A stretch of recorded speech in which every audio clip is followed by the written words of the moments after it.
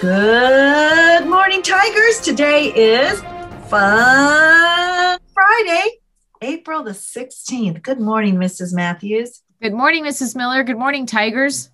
Students, please stand for the Pledge of Allegiance. Put your right hand over your heart. Ready, begin. I pledge allegiance to the flag of the United States of America and to the republic for which it stands, one nation under God, indivisible, with liberty and justice for all. And you may be seated. And like we said, Fun Friday means that it is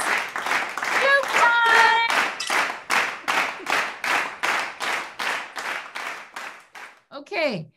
How did the hammerhead shark do on his math exam? I didn't know they took math. How did he do? He nailed it. Uh, yeah, and who gives sharks presents on Christmas? Ooh, I have no idea. Santa Jaws. Woo! All right, notes. Thank you, Miss Matthews, for the joke. And now for our words of wisdom. You know, you do realize, Mrs. Matthews, our morning announcements have gotten a little short this week. Yes, I do realize that. But boys and girls, don't worry, we'll be back strong next week. We've been a little busy getting campus ready for the opening of school. But don't fret, we always will have our words of wisdom. You know, we all get angry at times, and anger can be very natural in some situations. So, for example, if someone steals something from you, it would be natural and normal for you to be angry about that.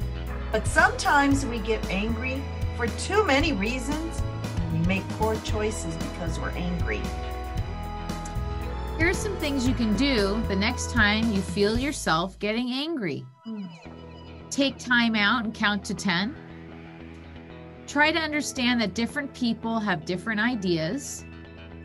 Speak quietly, don't swear, and treat others the way you want to be treated. Today, remember this an important part of growing up is learning how to control your anger. That's not always easy. No. And I especially like that last tip treat others the way you want to be treated. Let's remember that one, boys and girls. Something to think about. This is Principal Miller. And Mrs. Matthews, Make it a great day. or not, The choice is yours.